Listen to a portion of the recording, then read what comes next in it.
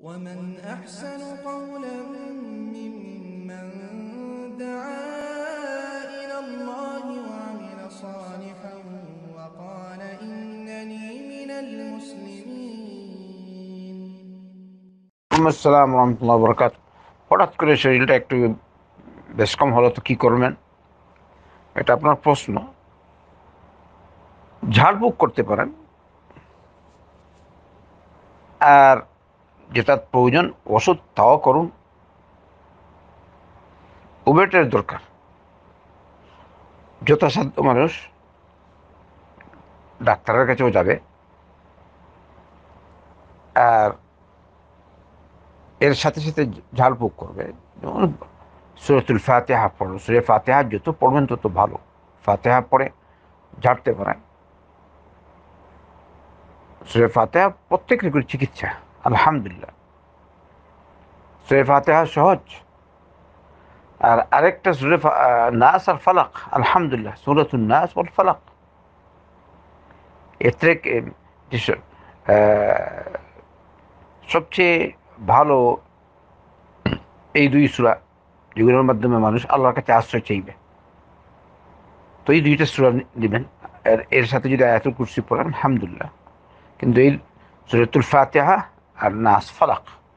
আর যত তাড়াতাড়ি সম্ভব ডাক্তারের কাছে যান।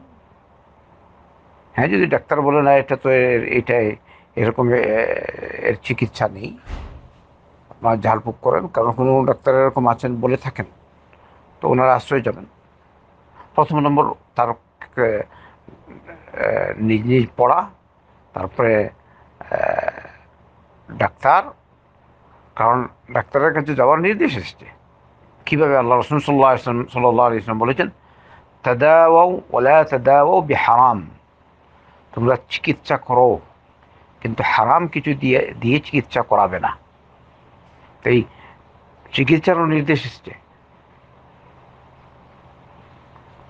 আর কোরআন পড়ে ঝাড়ার বা নবী করিম সাল্লামের সুন্না থেকে যেসব ঝাড়ার দরকার, প্রমাণ ওগুলো দিয়ে ঝাড়বেন। উভয়টার দরকার। একদম শুরুতে হঠাৎ করে এরকম হয়ে গেলো ঝাড়তে থাকেন আর সাথে সাথে আস ডাক্তারের কাছে যাওয়ার চেষ্টা করবেন। আল্লাহ সকলকে সুস্থ রাখুন। আর যদি হালকা কিছু হয়, যেমন আপনি ঘুমিয়েছেন, শয়তান দেখিয়েছে কিছু, তাহলে এই অবস্থায় তো আল্লাহ রসুন সাল্লাহ আসলাম এটা শয়তান ভয় সৃষ্টি করে, এই অবস্থায় তার কোনো অসু- অসুবিধা, আপনি ভয় পাবেন না, ভয় খাবেন না। আপনি আউজবিল্লাহ হিমিন শৈতান রাজিম পড়বেন তিনবার, বাম দিকে থুতু ফেলবেন আর পার্শ্ব পাল্টাবেন। পার্শ্ব পাল্টাবেন। আর যদি এরকম হয়, আবার আসা তো উজু করেন